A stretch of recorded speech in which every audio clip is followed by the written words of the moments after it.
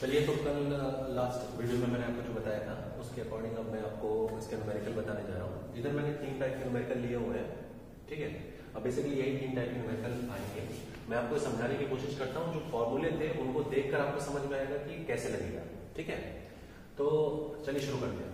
अब फॉर्मूला अपने सामने रखिएगा और तभी इसको सॉल्व करिएगा, जब भी आप इसको सॉल्व करेंगे। तो फॉर्मूला सामने रखिएगा और मेरी बातों को ध्यान से इसमें सुनते सुन के इसको करिएगा।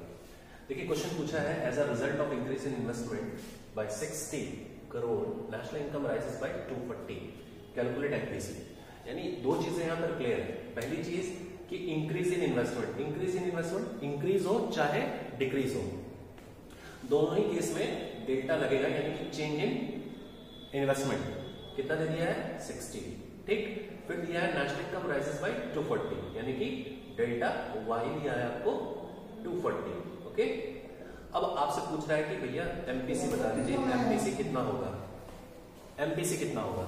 तो एमपीसी यहाँ पर निकालने के लिए आपको मैं सोल्यूशन बताता हूँ देखिए, आपके पास इंफॉर्मेशन क्या क्या प्रोवाइडेड है? क्वेश्चन नंबर वन में आपको दिया हुआ डेल्टा आई दिया हुआ है सिक्सटी दिया हुआ है, डेल्टा वाई दिया हुआ है टू दिया हुआ है, और एमपीसी दिया हुआ है।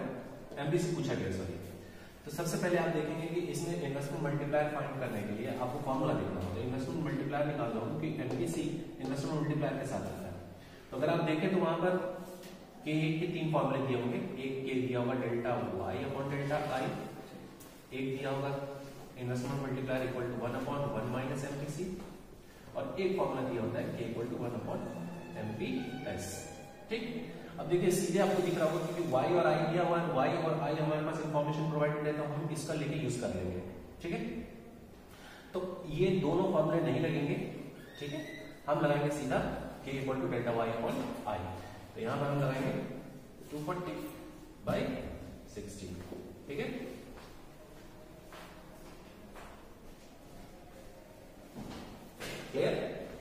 K इक्वल टू आ जाएगा आपके पास फोर अब देखिए ए इक्वल टू फोर अगर लेकिन पूछा है एमपीसी क्या है तो ध्यान दीजिए कि एक K equal to one upon one minus MPC का भी फॉर्मूला होता है। यहाँ से आपको के एमपीसी निकल जाएगा।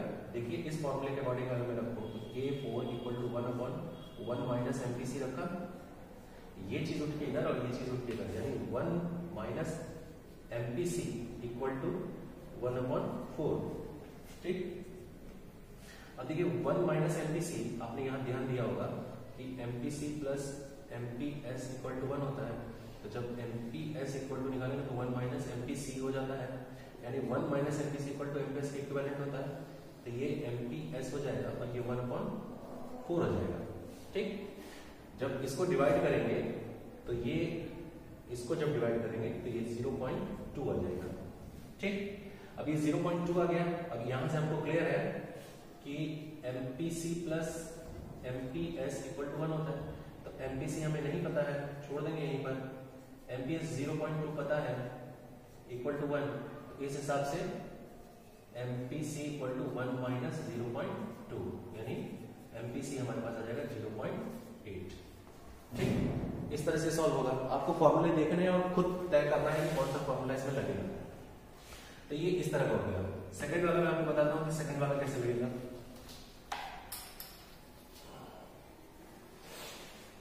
देखिए सेकंड वाले में हमको कुछ इंफॉर्मेशन दी है ऑटोनॉमस कंजप्शन इसके लिए पाँचों फॉर्मूला जो था कि y equal to C plus I होता है।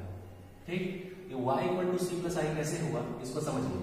y इक्विवेलेंट होता है इनकम के, यानी एग्रीगेट सप्लाई के, और c प्लस आई होता है एडी ठीक? जहाँ पर एडी और एस इक्विवेलेंट होते हैं, वहाँ पर equilibrium level of income output and employment तय होता है। ठीक? तो फॉर्मूला तो यहाँ से डिराइव हो गया।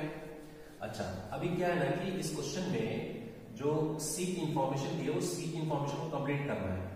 ये वाला क्वेश्चन देखिए, जैसे ये सी का फॉर्मेशन दिया हुआ है ना C equal to hundred plus zero point seven five by उसी फॉर्म में इसको कन्वर्ट करना है। इस वाले क्वेश्चन को क्वेश्चन नंबर टू को।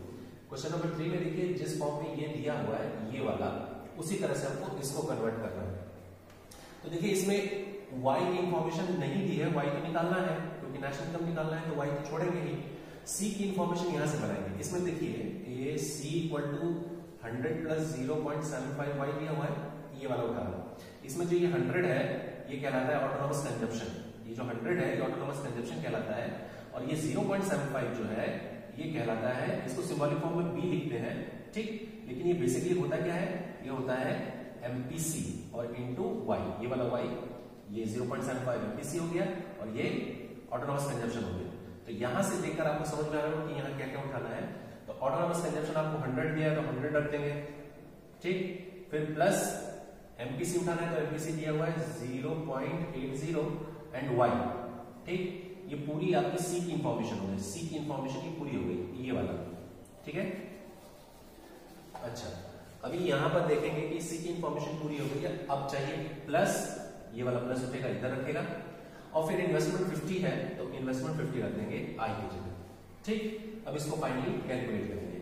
तो y इक्वल टू ये 150 प्लस 0.8 y अब ये 0.8 y इधर आ जाएगा। Y minus 0.8 y equal to 150 तो वन में से 0.8 को तो 0.2 y equal to 150 okay finally answer क्या बचेगा? Y equal to 150 upon 0.2 two, point यहाँ से रिमूव करेंगे, एक ज़ीरो ऊपर चला जाएगा, ठीक? और इसको डिवाइड कर लेंगे, जो आएगा वो हमारा आंसर होगा।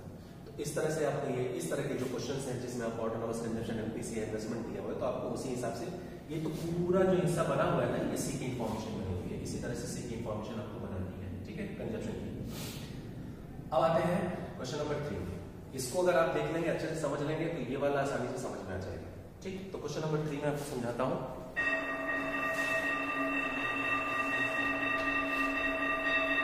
देखिए क्वेश्चन नंबर थ्री में आपको दिया हुआ है सी की इंफॉर्मेशन दी है C equal to hundred plus zero point seven five Y दिया हुआ है। और आपको आई दिया हुआ है वन थाउज़ेंड ठीक, हमें पता है Y equal to C plus I होता है। तो भैया, इसको इसी तरह से रख दीजिए वाई इक्वल टू अब y तो निकालना ही क्योंकि पहला क्वेश्चन क्या पूछा है? Equilibrium level of national income निकालिए यानी कि y निकालिए तो y तो ऐसे छोड़ देंगे और c की ये पूरी इंफॉर्मेशन रखेंगे, यानी कि 100 प्लस 0.75 y और प्लस i 1000 दिया हुआ है, ये रख देंगे।